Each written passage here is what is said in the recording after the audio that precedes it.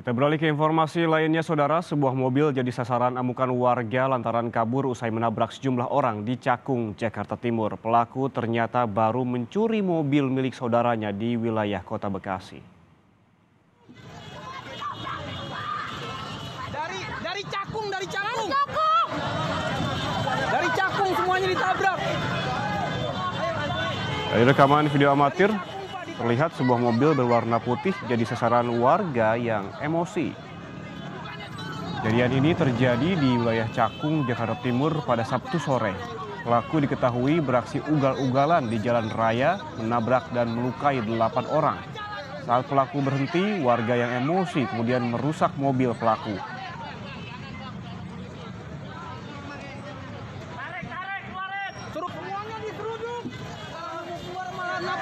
Polisi kini telah menangkap satu pelaku pencurian dan tabrak lari yang mengakibatkan delapan orang terluka.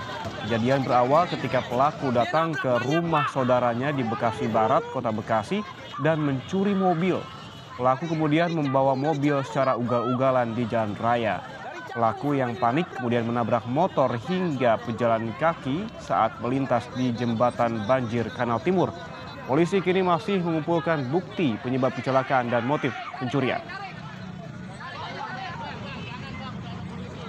Ya, jadi kita mendapatkan informasi awal dari anggota Pospam Ketupat Jaya yang berada di eh, wilayah Jakarta Timur bahwa terjadi tabrakan yang disebabkan karena pengendara ugal-ugalan.